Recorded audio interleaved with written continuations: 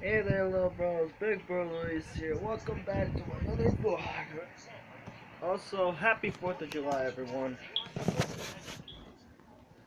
So you can see, uh, I just barely woke up with a bad messed hair, messed up hair day. I'm actually excited for this 4th of July, because you know why? Uh, do you see this of people outside? Well, some. You can see the campers over there, and you see the container oranges. Those are lots of fireworks, guys. A lot of fireworks. So where is this 4th of July fireworks is going to start? Well, for me, it's going to start right out my front yard. Like, you saw the whole, the whole desert is deserted, and actually I'm going to go outside to show you. Hold on a sec. You can see these people from outside. Check this out.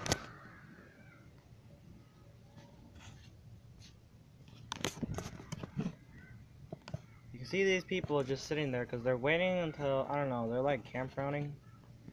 Because probably like they're waiting until the 4th of July at night for the fireworks. And you can see those orange containers that those are fireworks, of course. So guys, I guess that's it. No, no, that's it. You see, this is not, I'm not gonna I'm not gonna record this long for tonight. As you see, I'm gonna make a video I'm gonna I'm gonna record next video tonight that there's gonna be huge fireworks. Like last year I remember there was like amazing fireworks, like literally. So basically we were we me and my family we were on top of the roof because you know it's right in front of us the fireworks like for all of us and then there was a lot of people just there's a lot of people parking all over the places around our neighborhood like holy shit so yeah and the only reason why this place is all deserted and empty is just for something like experiment and cleaning up. And you can see the tapes are caution and stuff. Yeah, it's really like simple because like. So yeah, it was intense. The fireworks were extremely intense. You know why? Cause like we were on top of the roof, and then while the fireworks, it was just light up in the air like it was big. Like it felt like it was so close to us. And while it popped, it was a huge, loudest fireworks of all time. We felt it on top of the roof. We felt the boom on the ground shake. We felt it all over the place. It's like it was light, and then the light was like huge. The fireworks were like a huge light. It was incredible. Like it felt like the sun rising up and then coming then felt like the sun rising up but then dark again like light dark light dark light dark like the sun is like moving to the earth moving and then stuff like that. It's it felt like that like it's really cool. And I can't wait for it to happen again. I can't wait to record that but you know I'm gonna show you that uh I'm gonna show the fireworks uh see how it is. So yeah these people are just sitting there doing enjoying until they're gonna wait until dark because apparently they must have been parking very early because they want because there's gonna be a lot of people gonna be parking here tonight and it's gonna be like a huge catastrophe.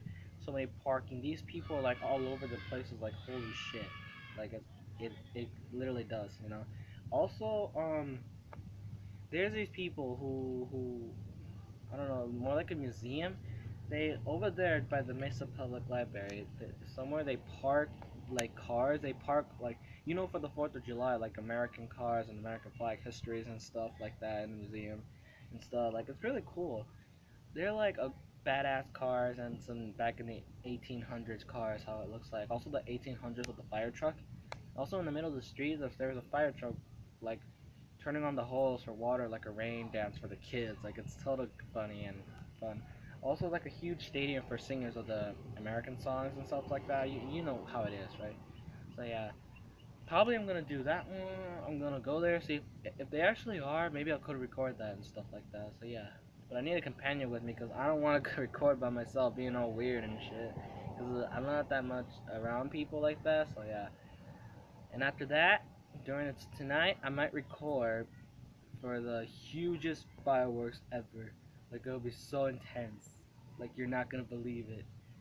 It's gonna be big, it's gonna be awesome. Like last year it was intense. Even though I felt it, not just the ground shake, I felt my insides are like shaking from boom and boom. It felt so weird and awesome and stuff. It was really scary too.